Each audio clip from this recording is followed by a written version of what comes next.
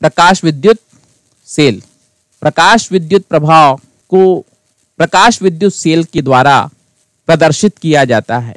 प्रकाश विद्युत सेल एक ऐसी युक्ति है जिसमें प्रकाश ऊर्जा विद्युत ऊर्जा में बदलती है। इसे कभी-कभी विद्युत नेत्र भी कहते हैं। एक प्रकाश विद्युत सेल में एक अर्ध बेलनाकार प्रकाश संवेदी धातु पट्टिका सी उत्सर्जक होती है। और एक तार का लूप, ए, संग्राहक। एक निर्वातित कांच या क्वार्ट्ज बल्ब में लगे होते हैं।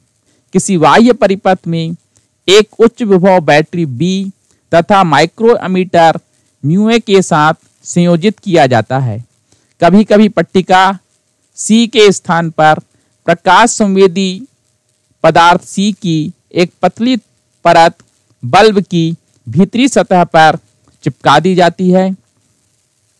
बल्ब के एक भाग को छोड़ दिया जाता है, जिससे कि प्रकाश इसमें प्रवेश कर सके। जब उपयुक्त तरंग लंबाई का प्रकाश सी पर पड़ता है तो इलेक्ट्रॉन उत्सर्जित होते हैं। ये प्रकाशिक इलेक्ट्रॉन संग्राहक पर आकर्षित हो जाते हैं। किसी प्रकाश सेल से कुछ माइक्रोमीटर की कोटि की प्रकाशिक धारा प्राप्त की जाती है। एक प्रकाश सेल प्रदीपन तीव्रता में परिवर्तन कर प्रकाशिक धारा में परिवर्तन कर सकता है।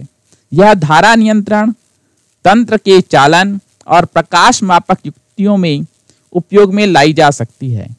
अवरक्त विकिरण के लिए संवेदी लेड सल्फाइड के प्रकाश सेलों का उपयोग इलेक्ट्रॉनिक प्रज्वलन परिपथों में किया जाता है। वैज्ञानिक कार्यों में प्रकाश की तीव्रता को मापने के सभी अनुप्रयोगों में प्रकाश सेलों का उपयोग किया जाता है। फोटोग्राफिक कैमरों में प्रकाश मापक प्रकाश सेल का उपयोग आपतित प्रकाश की तीव्रता मापने में करते हैं। स्वचालित द्वार नियंत्रक में प्रकाश सेल का प्रयोग द्वार प्रकाश विद्युत परिपथ में होता है। द्वार की ओर बढ़ते हुए व्यक्ति द्वारा प्रकाश सेल पर पड़ने वाले प्रकाश पुंज बाधित हो सकते हैं। प्रकाशिक धारा में अचानक होने वाले बदलाव का उपयोग द्वार खोलने के लिए मोटर को प्रारंभ करने में या अलार्म बजाने में किया जा सकता है। इसका उपयोग गणना युक्ति के नियंत्रण में भी किया जाता है, जो प्रकाश किरण पुंज की प्रत्येक रुकावट, जो किरण पुंज के पार किसी व्यक्ति अथवा वस्तु के जाने के कारण उत्पन्न होती है, को अंकित करता है। इसलिए प्रकाश सेल किसी प्रेक्षागृह में प्रवेश करने वाले व्यक्तियों की गणना करने में सहायता करता है। यदि वे विशाल कक्ष में एक-एक करके प्रवेश करते हैं, करते हों, इसका उपयोग यातायात नियम तोड़ने वालों की पहचान के लिए किया जाता है। जब भी विकिरण के एक किरण पुंज को अवरोधित किया जाता है तो एक अलार्म बजाया जा सकता है। चोर अलार्म में पराबैंगनी प्रकाश को सतत प्रवेश द्वार पर स्थापित प्रकाश सेल पर डाला जाता है। कोई व्यक्ति जो द्वार में प्रवेश करता है, वह प्रकाश सेल पर पड़ने वाले किरण पुंज को अवरोधित करता है। प्रकाशक विद्युत धारा में आकस्मिक परिवर्तन का उपयोग कर विद्युत घंटी के बजने से प्रारंभ किया जाता है। अग्नि अलार्म में, भवन में उपयुक्त स्थानों पर कई प्रकाश सेल स्थापित कर दिए जाते हैं। आग लगने पर प्रकाश विकिरण प्रकाश सेल पर पड़ते हैं। इससे एक विद्युत घंटी अथवा एक भोपू से होकर जाने वाला परिपथ पूर्ण हो जाता है और यह एक चेतावनी संकेत के रूप में कार्य करना प्रारंभ कर देता है। प्रकाश सेलों का उपयोग चलचित्रण में, ध्वनि के पुनरुत्पादन में, टेलीविज़न कैमरे में दृश्य के क्रम वीक्षण तथा टेलीविज़न प्रसारण में किया जाता है। इसका उपयोग उद्योगों में, धातु की चादरों में, छोटी त्रुटियों तथा छिद्रों को खोजने में भी किया जाता है। इस तरह ये थे प्रकाश विद्युत सेल के उपयोग। अभ्यास के प्रश्न दो। आइंस्टीन का प्रकाश विद्युत समीकरण सिद्ध कीजिए। दहली तरंग लंबाई क्या है? आइंस्टीन के प्रकाश विद्युत समीकरण से प्रकाश विद्युत प्रभाव की व्याख्या कीजिए। तरंग सिद्धांत प्रकाश विद्युत प्रभाव को क्यों नहीं समझा सकता? एक धातु का कार्यफलन दो दशमलव तीन इलेक्ट्रॉन वोल्ट है। उस पर 6800 अंगस्ट्राम का नारंगी प्रकाश पड़ने पर इलेक्ट्रॉन का उत्सर्जन होगा कि नहीं? अभ्यास के प्रश्न तीसरा। बच्चों, आप जैसा कि जानते हैं कि प्रकाश से संबंधित कुछ गुण, जैसे प्रकाश का व्यतीकरण, प्रकाश का विवर्तन और प्रकाश का ध्रुवण, ये घटनाएँ हम प्रकाश के तरंग सिद्धांत के आधार पर समझा सकते थे। आपने तरंग प्रकाशिकी में इन्हें विस्तार से अध्ययन किया है। इस अध्याय में आपने प्रकाश के विद्युत प्रभाव को देखा और साथ ही प्रकाश का एक और प्रभाव होता है, जिसमें हम जानते काम्पटन प्रभाव। इस दोनों प्रभावों को हम प्रकाश के कण प्रकृति के आधार पर समझा सकते हैं। इस तरह से प्रकाश के कुछ गुणों की व्याख्या आप तरंग सिद्धांत पर समझा सकते हैं और प्रकाश के कुछ गुणों की व्याख्या आप उसके कण के आधार पर समझा सकते हैं। इस तरह प्रकाश की प्रकृति जो हो गई, दो प्रकृति हो गई, एक कण की प्रकृति और एक तरंग की प्रकृति, इस प्रकृति को हम द्वैत प्रकृति कहते हैं। इस प्रकाश विद्युत प्रभाव में आपने देखा था कि फोटान अपनी, एक फोटान अपनी ऊर्जा लेकर के धातु की सतह पर पूरी ऊर्जा दे देता है और वह इलेक्ट्रॉन उस ऊर्जा को लेकर के एक अकेला इलेक्ट्रॉन उस ऊर्जा को लेता है और वह धातु की सतह से उत्सर्जित हो जाता है। इस प्रकार हमने देखा कि कुछ गुण तरंग सिद्धांत पर समझाए, कुछ गुण हमने कण के सिद्धांत पर समझाए, जैसे प्रकाश विद्युत प्रभाव, और कुछ गुण ऐसे होते हैं, जैसे कि प्रकाश का सरल रेखा में चलना, प्रकाश का परावर्तन होना प्रकाश का अपवर्तन होना, इसे हम तरंग सिद्धांत के आधार पर भी समझा सकते हैं और कण सिद्धांत पर भी समझा सकते हैं।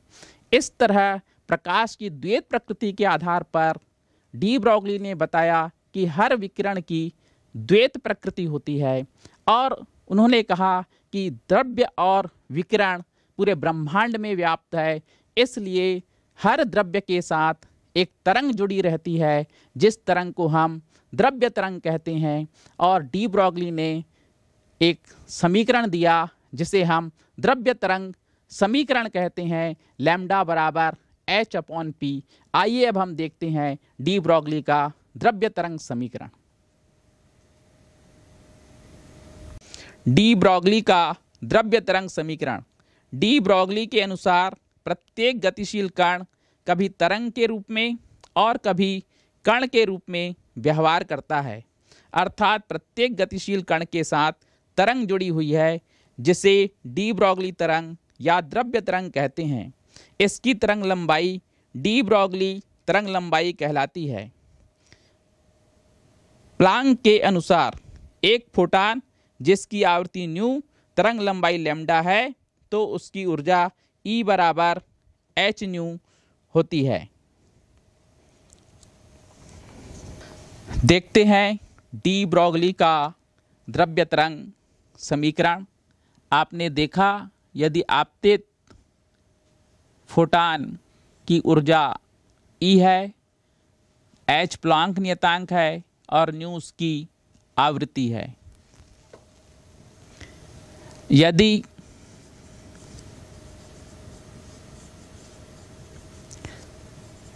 फोटान का द्रव्यमान एम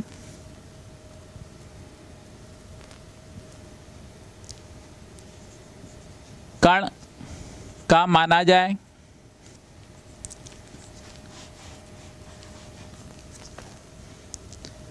तो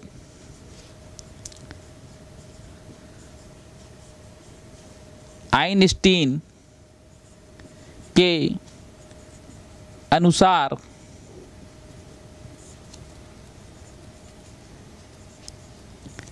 उसकी ऊर्जा ई बराबर एम सी स्क्वेयर ये उसी फोटान का है जब वो कण के रूप में ऊर्जा था, ये उसी फोटान की ऊर्जा है जब वो तरंग के रूप में था, इसलिए एक व दो से H nu equal to M C square या H nu upon C square equal to M या H nu C into C equal to M किंतु सी बराबर आप सभी जानते हैं न्यू इंटू लेमडा तो H nu nu lambda into C बराबर एम तो ये न्यू न्यू कैंसिल हो गया. तो आपका आ गया एच बटे लेमडा बराबर एम इंटू सी मात्रा गुणित वेग आप सभी जानते हैं, संवेग होता है. इसलिए एच बटे लेमडा बराबर पी या लेमडा बराबर H upon P. Lambda equal to H upon P, यही डी ब्रॉगली का द्रव्य तरंग समीकरण है। इसे डी ब्रॉगली का द्रव्य तरंग समीकरण कहा जाता है। डी ब्रॉगली ने यह माना कि यह समीकरण फोटान के साथ साथ किसी भी द्रव्य कणों पर लागू होता है। यदि कोई द्रव्य कण लैम्डा बराबर एच बटे एम द्रव्यमान का है और वी वेग से चल रहा है तो उसके लिए भी यही सूत्र लगेगा। तो ध्यान दीजिए, यह फोटान के लिए हमने निकाला था, पर डी ब्रॉगली ने ये कहा कि ये किसी भी द्रव्य कणों के लिए लागू होगा और यदि कोई द्रव्य कण जिसका द्रव्यमान एम है वी वेग से गतिशील है तो लेमडा बराबर एच अपॉन एम वी या lambda equal to H upon P इस तरंग लंबाई को हम डी ब्रॉगली तरंग लंबाई कहते हैं और इस तरंग को द्रव्य तरंग भी कहते हैं। इस प्रकार आपने देखा डी ब्रॉगली द्रव्य तरंग का समीकरण लैम्डा बराबर एच एम इंटू वी। यदि v बराबर ज़ीरो है तो लैम्डा बराबर अनंत। यदि v बराबर अनंत है। तो लैम्डा बराबर ज़ीरो। यदि v का मान ज़ीरो रखा तो लैम्डा बराबर एच बटे ज़ीरो और किसी संख्या को ज़ीरो से भाग देते तो उसका मान अनंत होता है। और यदि हमने v का मान अनंत ले लिया तो लैम्डा बराबर ज़ीरो हो गया। तो ये था आपका द्रव्य तरंग। इसलिए द्रव्य तरंग में चूँकि इन सब की अनिश्चितता रहती है, अतः इसे हाइजनबर्ग के अनिश्चितता सिद्धांत पर बात करते हैं और उसके तरंग को बनाते हैं। इसका मतलब यह है कि द्रव्य तरंग उन्हीं कणों के साथ जुड़ी है जो गति में है। यदि गतिशील कण आवेशित हो या अनावेशित, उन सभी के साथ तरंग जुड़ी होगी। डी ब्रॉगली तरंग विद्युत चुंबकीय तरंग नहीं है, क्योंकि विद्युत चुंबकीय तरंग आवेशित कणों से उत्पन्न होती है। चूँकि तरंग की स्थिति का सही सही पता नहीं होता, इसलिए द्रव्य कणों की तरंग प्रवृत्ति में कण की स्थिति का भी सही सही पता नहीं लगाया जा सकता। इसलिए कणों के साथ जुड़ी तरंगों की तरंग लंबाई में भी अनिश्चितता बनी रहती है। आइए अब हम ने बताया कि ये जो द्रव्य तरंग है, आवेशित कणों के लिए भी है तो ये इलेक्ट्रॉन के लिए किस प्रकार से इसका मान आएगा? और तो सबसे पहले देखते हैं कि इस पर ताप का क्या प्रभाव पड़ता है। माना कि किसी ताप टी पर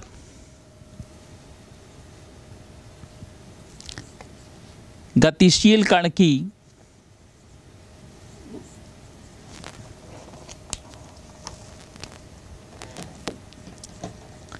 गतिशील कण की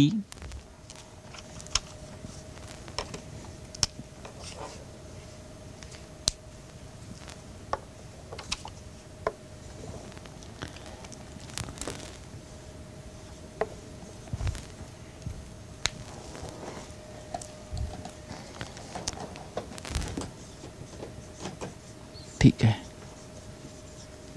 कि गतिज ऊर्जा ई बराबर तीन बटे दो के बी टी, ये टी उस गतिशील कण का ताप है, टी कैलविन और के बी आपका में नियतांक है। आपने सूत्र पढ़ा था लेमडा बराबर एच बटे पी, किंतु ई बराबर पी स्क्वायर बटे टू एम तो देखिए two M E equal to P square हो जाएगा। तो under root two M E equal to P. यहाँ पर मान रख दीजिए तो lambda equal to H upon under root two M into E. E का मान आपने निकाला है। तीन बटे दो के बी इंटू टी।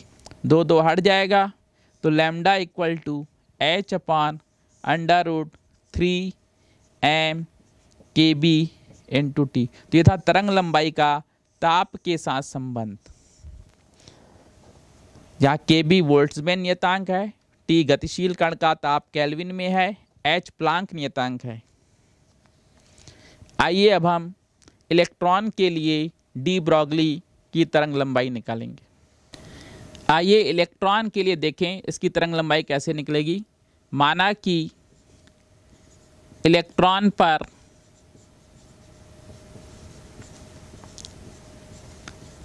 आवेश ई तथा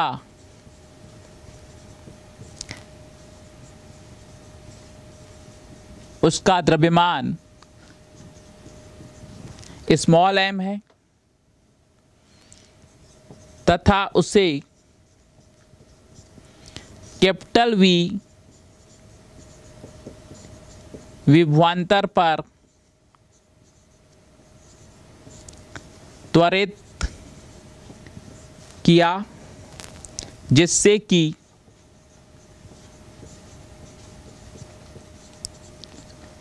वह वी वेग से चला। तो उसकी गतिज ऊर्जा बराबर एक बटे दो एम गुणित वी वर्ग। और ये गतिज ऊर्जा ही किसमें बदलती है? स्थिति ऊर्जा में, और स्थिति ऊर्जा गतिज ऊर्जा में। तो ई इन टू वी उसकी स्थिति ऊर्जा हो गई। इस प्रकार से V square equal to two E V upon M या v equal to under root two E V बटे एम किंतु आप डी ब्रॉगली का तरंग समीकरण देखे थे लेमडा बराबर एच अपॉन पी या एच अपॉन एम भी।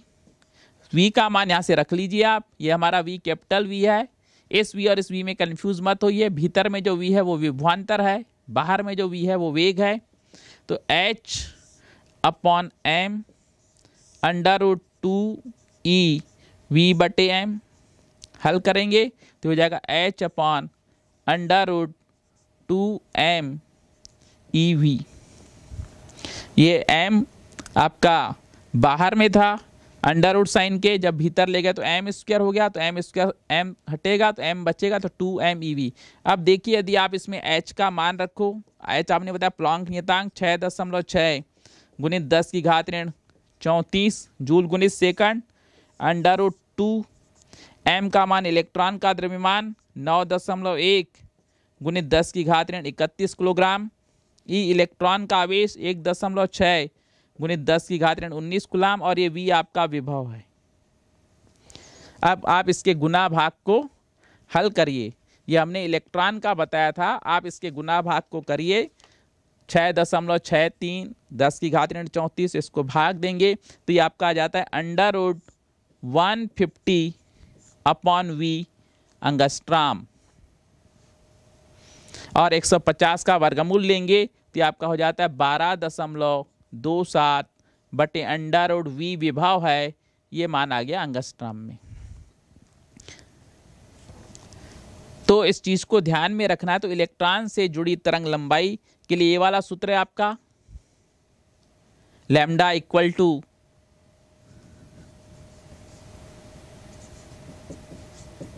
H upon under root two M E V V आपका विभवान्तर है। अंगस्ट्राम में हमने निकाला। कोई मान लो इसको नैनोमीटर में निकालना चाह रहा होगा तो ये आपका होता है one point two two seven upon under root V nanometre तो जनरली हम तरंग लंबाई को अंगस्ट्राम में बताते तो ये सूत्र दिमाग में रखिए under root one fifty upon V वाला, या twelve point two seven under root V अब देखो ये इलेक्ट्रॉन के लिए था तो इसलिए ई e आया। किसी दूसरे कण के लिए निकालेंगे, जिस पर क्या आवेश क्यू है। तो lambda equal to H upon under root two M Q into V हो जाएगा। किसी क्यू आवेश वाले कण के लिए लेंगे तो ई e की जगह आपको क्यू लिखना है। हाइजेनबर्ग का अनिश्चितता सिद्धांत। इस सिद्धांत के अनुसार एक ही समय पर किसी इलेक्ट्रॉन अथवा कोई और कण की स्थिति एवं संवेग दोनों को परिशुद्ध रूप से मापना असंभव है। हमेशा ही कुछ अनिश्चितता डेल्टा एक्स स्थिति में और कुछ अनिश्चितता डेल्टा पी संवेग में होती है। डेल्टा एक्स तथा डेल्टा पी के गुणनफल की एक निम्नतम सीमा होती है, जो एच बटे चार पाई की कोटि की होती है। इसलिए delta X into delta P बड़ा है या बराबर है एच बटे चार पाई से, जहाँ एच प्लांक नियतांक है। यदि delta X tends to zero है तो डेल्टा पी को अनंत होना चाहिए, जिससे कि गुणनफल शून्य न हो। इसी प्रकार यदि डेल्टा पी ज़ीरो हो तो डेल्टा एक्स को अनंत होना पड़ेगा। सामान्यतः दोनों डेल्टा एक्स तथा डेल्टा पी का गुणनफल शून्य नहीं होता है। डेविसन तथा जर्मर प्रयोग। इलेक्ट्रॉन की तरंग प्रकृति प्रायोगिक तौर पर सर्वप्रथम सी जे डेविसन तथा एल एच जर्मर के द्वारा 1927 में तथा स्वतंत्र रूप से जी पी टॉमसन के द्वारा 1928 में सत्यापित की गई थी। इन वैज्ञानिकों ने इलेक्ट्रॉन के किरण पुंज का क्रिस्टलों से प्रकीर्णन के द्वारा विवर्तन प्रभाव का परीक्षण किया था। डेविसन तथा जर्मर की प्रायोगिक व्यवस्था संलग्न चित्र में दर्शाई गई है। इसमें एक इलेक्ट्रॉन गन होती है, जो एक टंगस्टन तंतु एफ़ की बनी होती है, जिस पर बेरियम ऑक्साइड का लेप होता है। इसे कम विभव की बैटरी से गर्म किया जाता है। किसी उच्च वोल्टता ऊर्जा स्रोत द्वारा उपयुक्त विभव के अनुप्रयोग से तंतु द्वारा उत्सर्जित इलेक्ट्रॉनों को ऐच्छिक वेग तक त्वरित किया जाता है। इन्हें एक बेलन, जिसमें इसके अक्ष के समानांतर पतले छिद्र होते हैं, से पारित करके एक पतले किरण पुंज के रूप में समांतरित कर लिया जाता है। इस किरण पुंज को एक निकल क्रिस्टल के पृष्ठ पर डाला जाता है। क्रिस्टल के परमाणुओं के द्वारा इलेक्ट्रॉन सभी दिशाओं में प्रकीर्णित होते हैं। किसी दिशा में प्रकीर्णित इलेक्ट्रॉन किरण पुंज की तीव्रता को इलेक्ट्रॉन समसूचक द्वारा मापा जाता है। समसूचक को वृत्ताकार मापनी पर घुमाया जा सकता है और एक सुग्राही गैलिनोमीटर के साथ संयोजित कर दिया जाता है, जो धारा को अंकित करता है। गैलिनोमीटर में विक्षेप संग्राहक में प्रवेश करने वाले इलेक्ट्रॉन किरण पुंज की तीव्रता के अनुक्रमानुपाती होता है। इस उपकरण को एक निर्वातित कोष्ठ में परिबद्ध कर देते हैं। समसूचक को वृत्ताकार मापनी पर विभिन्न स्थितियों में घुमाकर प्रकीर्णित इलेक्ट्रॉन किरण पुंज की तीव्रता को विभिन्न अक्षांश कोणों के मान के लिए थीटा को मापते हैं, जो कि आपतित और प्रकीर्णित इलेक्ट्रॉन किरण पुंजों के बीच का कोण होता है। प्रकीर्णित इलेक्ट्रॉनों की तीव्रता आई में प्रकीर्णन कोण थीटा के साथ परिवर्तन को विभिन्न त्वरण विभवों के लिए प्राप्त किया जाता है। विभव के 44 वोल्ट से अड़सठ वोल्ट के परास के लिए इस प्रयोग को संपन्न किया गया और डेविसन जर्मर प्रयोग के परिणामों को दर्शाया गया। यह पाया गया कि एक तीक्ष्ण विवर्तन उच्चिष्ट के संगत एक प्रबल शिखर विभव चौवन वोल्ट तथा प्रकीर्णन कोण 50 अंश पर इलेक्ट्रॉन वितरण में प्रकट होती है। एक विशिष्ट दिशा में शिखर का यह प्रकटन क्रिस्टल के परमाणुओं के समान अंतराल की परतों से इलेक्ट्रॉन के संपोषी व्यतीकरण के कारण होता है। इलेक्ट्रॉन विवर्तन मापन से द्रव्य तरंग की तरंग लंबाई शून्य दशमलव एक छः पाँच नैनोमीटर प्राप्त होती है। डी ब्रॉगली तरंग लंबाई लैम्डा बराबर एच बटे पी से वी बराबर चौवन वोल्ट के लिए इलेक्ट्रॉनों का मान शून्य दशमलव एक छः सात नैनोमीटर प्राप्त होता है। लैम्डा बराबर एच अपॉन पी इस सूत्र को हमने बदला था one point two two seven upon root V nanometre. V का मान हमने चौवन वोल्ट लिया तो लैम्डा बराबर one point two two seven बटे अंडर रूट चौवन नैनोमीटर बराबर zero point one six seven nanometre अतः डी ब्रॉगली तरंग दैर्घ्य के सैद्धांतिक तथा प्रयोगों द्वारा प्राप्त मान उत्तम सहमति है। डेविसन जर्मर प्रयोग इस प्रकार प्रभावशाली रूप से इलेक्ट्रॉनों की तरंग प्रकृति तथा डी ब्रॉगली संबंध की पुष्टि करता है।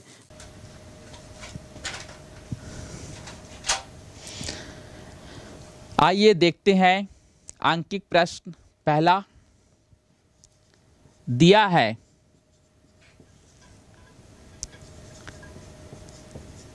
धातु का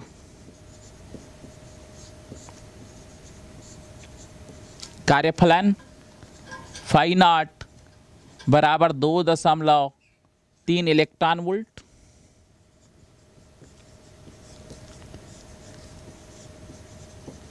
आपतित प्रकाश की तरंग लंबाई, लैम्डा बराबर 6000 अंगस्ट्राम। इस अंगस्ट्राम को मीटर में बदल दीजिए तो 6000 गुणित 10 की घात ऋण 10 मीटर। हम जानते हैं कि ई बराबर एच सी बटे लेमडा। ई का मान निकालना है। एच का मान छः दशमलव छः तीन गुणित दस की घात ऋण चौंतीस। सी प्रकाश की चाल है तीन गुणित दस की घात आठ मीटर प्रति सेकंड और लेमडा का मान छः हज़ार गुणित दस की घात ऋण दस मीटर। तो आप देखिए, ये मीटर प्रति सेकंड ये जूल इंटू सेकंड तो सेकंड सेकंड से कट गया, मीटर मीटर से कट गया तो ये ई का मान आपका जूल में आएगा six point six three into three upon six ten to the power minus thirty four इसका आपका हो गया प्लस एट ये हो गया माइनस टेन का ऊपर जाएगा तो प्लस टेन और नीचे में थाउज़ेंड का तीन ज़ीरो है तो ये आपका हो जाएगा माइनस थ्री जूल। हल करेंगे तीन एकम तीन तीन दूनी छः दो से भाग दे दीजिए तो ई बराबर तीन दूनी छः ये दो तिया छः दो तिया छः दो एकम दो दो पंचे दस, गुणित दस की घात ऋण। जो अट्ठारह ये हटा तो ये आपका बचा सोलह और तीन, दस की घात ऋण उन्नीस joule. Three point three one five joule. अब आप इसको इलेक्ट्रॉन वोल्ट में बदलिए तो E equal to three point three one five into ten to the power minus nineteen upon one point six into ten to the power minus nineteen तो ये आपका electron volt में कन्वर्ट हो जाएगा।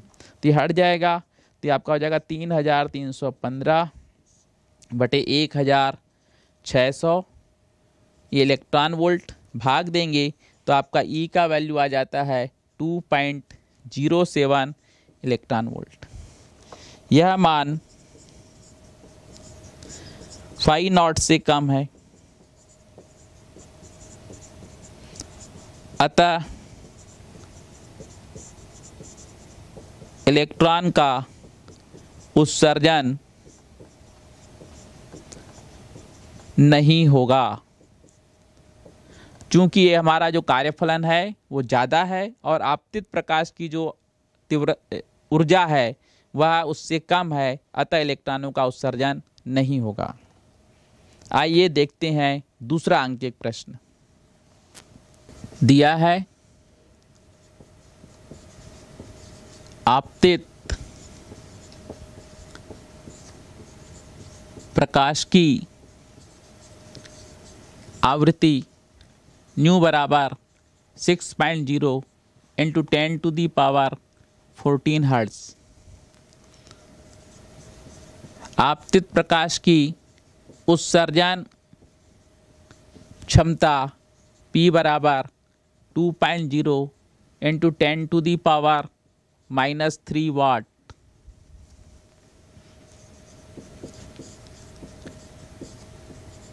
photon की ऊर्जा ई नहीं मालूम। प्रति सेकंड उत्सर्जित फोटान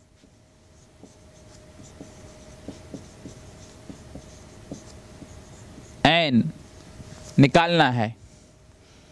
इसलिए ऊर्जा ई बराबर आपने सूत्र पढ़ा एच न्यू एच का मान six point six three into ten to the power minus thirty four joule into second nu का मान six point zero into ten to the power fourteen hertz hertz इसको प्रति सेकंड भी कहते हैं।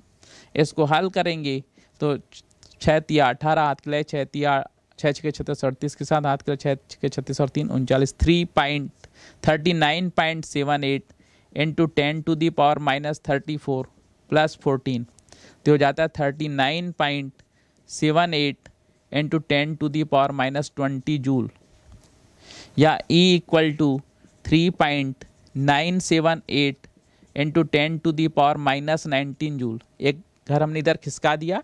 तो आप देखिए इसको ऐसा भी लिख सकते हैं थ्री पॉइंट सार्थक अंकों में three point nine eight into ten to the power minus nineteen joule यदि स्रोत से प्रति सेकंड उत्सर्जित फोटान एन है तो संचरित क्षमता P प्रति फोटान के ऊर्जा की एन गुनी होगी। इसलिए P equal to N into E अपने को एन चाहिए तो N equal to P upon E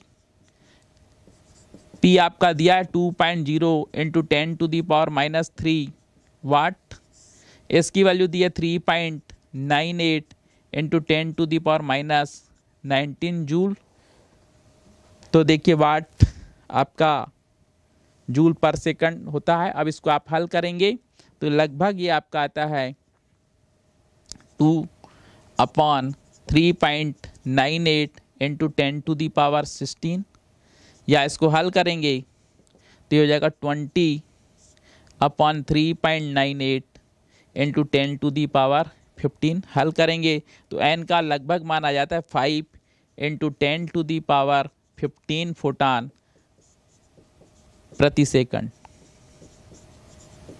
तो इस तरह आपने देखा, उत्सर्जित फोटान की ऊर्जा तीन दशमलव नौ आठ गुणित दस की घात ऋण उन्नीस जूल और उत्सर्जित फोटानों की संख्या पाँच गुणित दस की घात पंद्रह फोटान प्रति सेकंड है। और है ना? हाँ पाँच पाँच ठो और है। पाँच ठो ये अभी दो हुआ है ना?